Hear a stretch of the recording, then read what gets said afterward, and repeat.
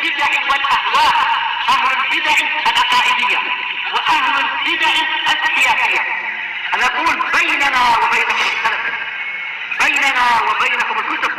كان فيقول البدع بيننا وبينكم بسم الله الرحمن الرحيم. الحمد لله الذي أرسل رسوله بالهدى ودين الحق ليظهره على الدين كله وكفى بالله شهيدا. وأشهد أن لا إله إلا الله وحده لا شريك له. إقرارا به وتوحيدا وأشهد أن محمدا عبده ورسوله صلى الله عليه وعلى آله وسلم تسليما مزيدا لا نبي بعده إخواني وأخواتي في الله حفظكم الله جميعا Kita lanjutkan bacaan kita terhadap kitab Syarah Masail Al-Jahiliyah. Kita sekarang akan memasuki permasalahan yang ke-94. Qala al-Imam Al-Mujaddid Asy-Syaikh Muhammad Ibn Abdul Wahhab An-Najdi At-Tamimi rahmatullah alaih Al-mas'alatu rabi'atu wa tis'un, permasalahan yang ke-94. Anna min dinihim bahwasanya termasuk agama mereka akhdar rajuli bi jarimati ghairihi Nah, menghukum seseorang disebabkan karena perbuatan dosa orang lain. Nah, jadi termasuk agama mereka menyiksa orang itu sebabnya karena apa? Kekeliruan atau sebuah dosa atau sebuah kejahatan yang dibikin oleh orang lain. Nah, ini termasuk kezaliman seperti ini. Jadi dia memikul menanggung dosa orang lain itu istilahnya. Nah, memikul atau menanggung perbuatan jahat yang dilakukan oleh orang lain. Allah musta'an. Fa'anzalallah akhirnya Allah Subhanahu wa taala menurunkan wala taziru waziratun wizra ukhra. Tidaklah orang yang berdosa itu memikul nah tidaklah orang yang berdosa itu memikul dosa orang lain. Dalam artian masing-masing memikul dosanya sendiri-sendiri. Nah, itu hukum asalnya seperti itu. Oleh karena itu, nah barakallahu fikum hafizakumullah termasuk perilaku perbuatan orang-orang jahiliyah, agama orang-orang jahiliyah adalah nah barakallahu fikum menghukum atau menyiksa seseorang disebabkan karena enam kejahatan yang dilakukan oleh orang lain. Disebabkan karena apa? Kejahatan yang dilakukan oleh orang lain atau sebabnya karena dosa yang dilakukan oleh orang lain. Nah, ini termasuk bentuk kezaliman. Qala Asy-Syaikh Shalih Al-Fauzan waffaqahullah min masail jahiliyah termasuk permasalahan-permasalahan jahiliyah annahum ya'khudhuna ar-rajula ay yu'aqibunahu bahwasanya mereka menghukum seseorang ay yu'aqibunahu yaitu maksudnya mereka menghukum seseorang bisababi jurmi ghairih disebabkan karena kejahatan atau kriminalitas orang lain.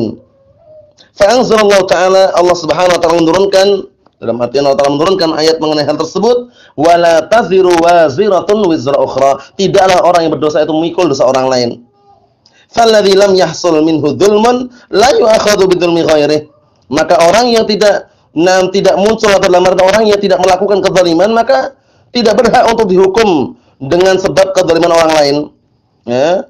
Nah, barakallahu fikum. Jadi orang yang tidak melakukan zaliman, ya, tidak melakukan sebuah kezaliman, maka tidak boleh dihukum dengan sebab apa? kezaliman orang lain atau kezaliman yang lainnya.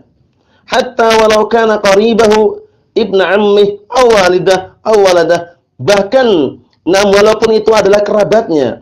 Nah, eh, anak pamannya atau orang tuanya atau anaknya la yajni janin illa ala nafsih. Nah, tidaklah nah barakallahu fikum orang itu berbuat kejahatan atau kriminalitas melainkan kecuali apa? Kecuali akan mengenai dia dirinya sendiri. Nah, itu sebenarnya tidak boleh mengenai orang lain. Dalam artian apa? Dalam artian kalau dia yang melakukan kejahatan, dia yang harus menimba dan juga memanen hukumannya. Nah, bukan malah ditimpakan hukumannya ke orang lain. Allah musta'an. Naam. Kita lihat di sini barakallahu fikum hafizakumullah. Wala wala yu'khad al-bari bi jarimatil mu'tadi. Maka tidak boleh orang yang berlepas diri dari sebuah kejahatan dihukum disebabkan karena kejahatan orang-orang yang berbuat kriminalitas. Nah, jadi enggak boleh seperti itu ya. Ayo na'am. Fa idza ukhidha ghairu mu'tadi bi udwanil mu'tadi, maka apabila orang yang tidak melakukan kejahatan kok dihukum dengan apa? Dikarenakan kejahatan orang yang melakukan kejahatan, nah atau kejahatan orang lain fa hadza wa jawrun Islam maka yang seperti inilah bentuk kezaliman dan juga kejahatan nam yang agama Islam tidak menetapkannya maksudnya bagaimana maksudnya barakallahu fikum maksudnya orang yang tidak bersalah kok dihukum sebabnya apa sebabnya karena kesalahan orang lain atau sebabnya karena kriminalitas yang dilakukan oleh orang lain. Itu nggak boleh seperti itu. Hah? Yang seperti itu tidak diperkenankan. Allah musta'an.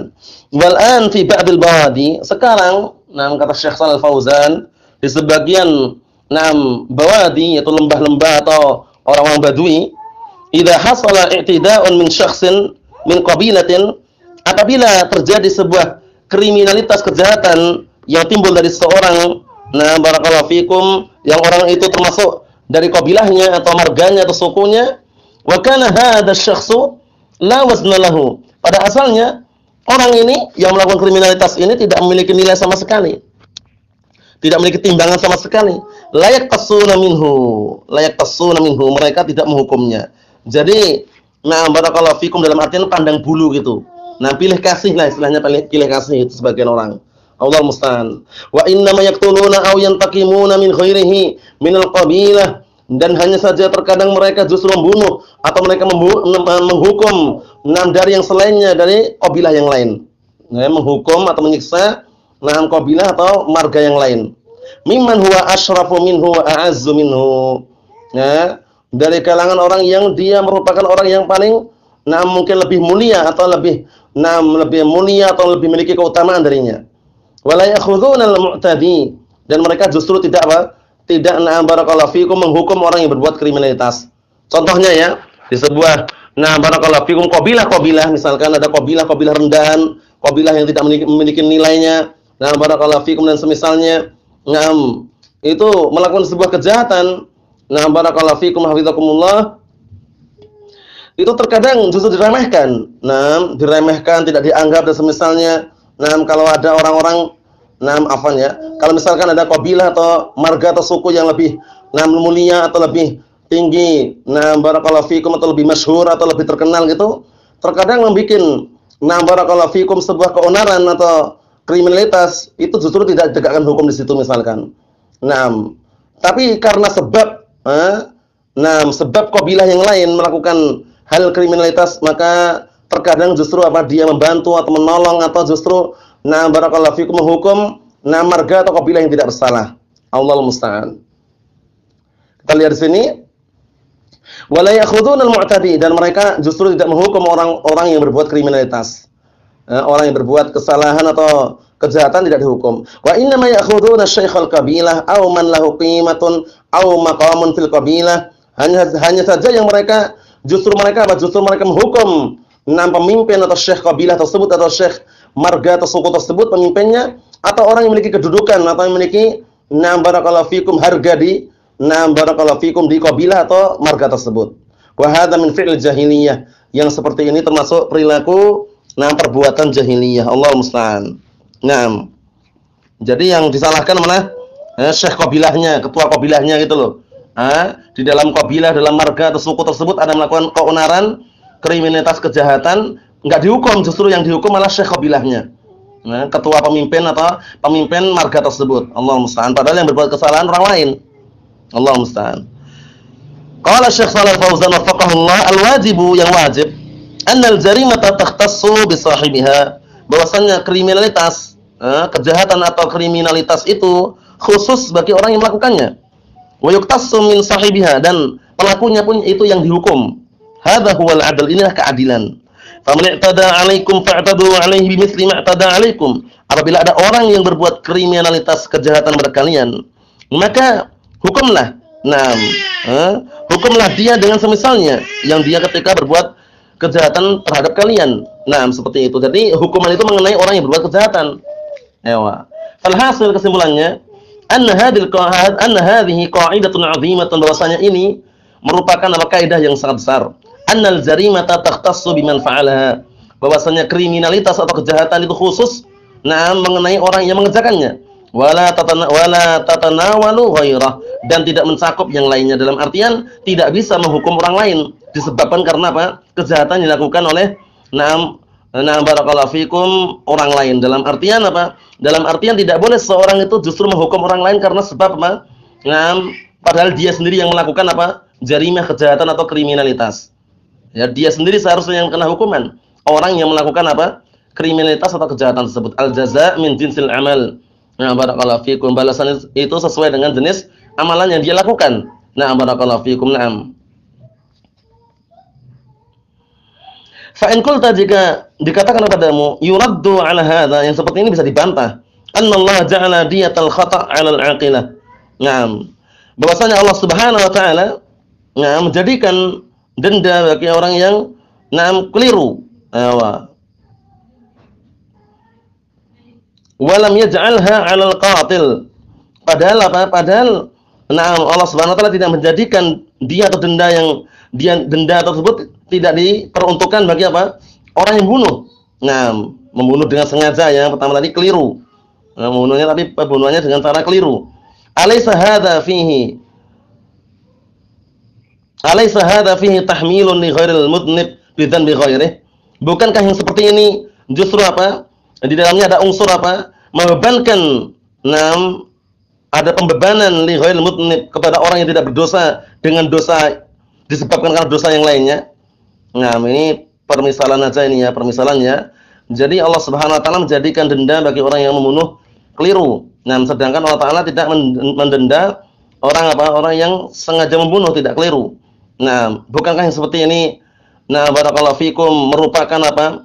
Membebankan sebuah beban kepada orang yang tidak berdosa disebabkan karena dosa yang lainnya. Nah, kalau kita katakan la, tidak. Hadza minal adl wa ta'awun. Ini termasuk bentuk keadilan dan juga ta'awun, tolong menolong. Lamma kana al-qatil khata'an ghairu muta'ammid. Manakala si pembunuh tersebut adalah keliru bukan karena sengaja, nasaba dzalika an tahmila anhu asabatuhu. Maka cocok dan sesuai. Nah, barakallahu fikum. Nah, kalau seandainya apa? beban atau istilahnya denda tersebut dibikulkan kepadanya. Kama annahum yarisuna ma lahu laumat. Sebagaimana mereka juga mewarisi hartanya apabila dia mati. Fakadzalika yahmiluna anhu al-khata. Nah, demikian pula mereka itu menanggung nah, atau memikul nah ketika nah dia membunuh dengan salah keliru tadi, alladzi waqa'a fihi min ghairi qasdin yang pembunuhan tersebut terjadi tanpa kesengajaan. Amal muta'ammid lil jarimah, ada orang yang sengaja untuk melakukan kriminalitas kriminalitas atau kejahatan, fa hada yahtassu jazaohu bihi. Maka yang seperti ini khusus balasannya itu mengenai orang tersebut.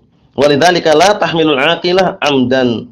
Oleh karena itu na'am barakallahu fikum na'am tidaklah dibebankan e, sebuah denda. Na'am barakallahu fikum bagi orang yang membunuh dengan sengaja. Allah musta'an. Na'am barakallahu fikum. Oleh karena itu perlu diperhatikan. Na'am. Jadi kalau seandainya ini dijadikan hujah untuk mereka bahwasanya diperbolehkannya kita menghukum orang karena kesalahan orang lain itu tidak perkenankan. Ini tidak benar dan tidak bisa jadikan hujah di sini dikarenakan barakallahu fikum hafizakumullah orang yang membunuh dengan sengaja dengan yang keliru itu memiliki hukum tersendiri dan berbeda barakallahu fikum. Wallahu alam shawab walhamdulillah. Subhanakallahumma wa bihamdika asyhadu an la ilaha illa anta astaghfiruka wa atubu ilaik. Walhamdulillahirabbil alamin.